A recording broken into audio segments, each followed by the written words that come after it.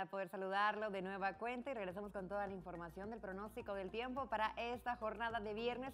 Un cielo de parcialmente nublado a mayormente nublado es lo que va a estar predominando. La temperatura máxima alcanzando los 26 grados centígrados en el transcurso de la noche, el termómetro oscilando de los 19 a los 20 grados centígrados. Como ya le comentaba en el bloque anterior, la probabilidad de lluvia se encuentra activo en un 20%, esto en el transcurso de la noche madrugada, la humedad relativa en un 75%. A extremar precauciones si el día de mañana sábado usted va a salir al cine, a algún concierto, porque hay pronóstico de precipitación, como lo estamos viendo, hasta en un 70% y ambiente fresco, así que salga muy bien abrigado, la temperatura máxima alcanzando los 18 grados centígrados y nuevamente por la noche va a descender la temperatura 13, 14 grados centígrados y cambian las condiciones para el día domingo, un cielo completamente despejado, baja la probabilidad de lluvia, la temperatura por la tarde ya empieza a recuperar 25 a 26 grados centígrados, la mínima de 17 y la próxima semana estaríamos iniciando con un cielo mayormente despejado.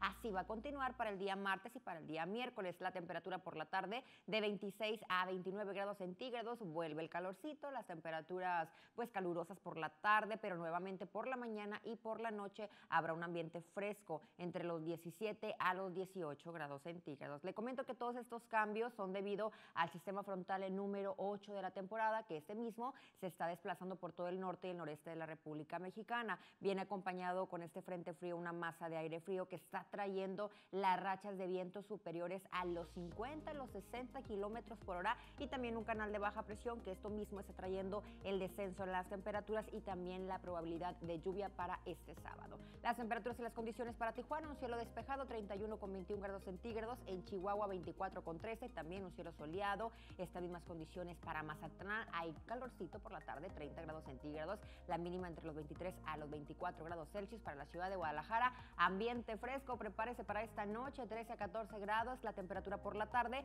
27 a 28 grados centígrados para Acapulco, un cielo parcialmente nublado, disminuye la probabilidad de precipitación, la temperatura por la tarde de 30 grados, la mínima de 23 para el municipio de Celaya. Hay ambiente fresco en el transcurso de esta noche, 13 grados centígrados, la máxima de 25, como lo estamos viendo para el territorio tejano hay ambiente fresco para El Paso, Texas y también para McAllen. Entre los 12 a los 16 grados centígrados para Reynosa, un cielo parcialmente nublado y para toda la península Yucatán hay pronóstico de precipitación, tormentas dispersas, Cancún también para Mérida. Las temperaturas por la tarde van a continuar calurosas, el ambiente se va a sentir bochornoso, 28 a 29 grados centígrados y por la noche el termómetro oscilando 23 a 24 grados Celsius.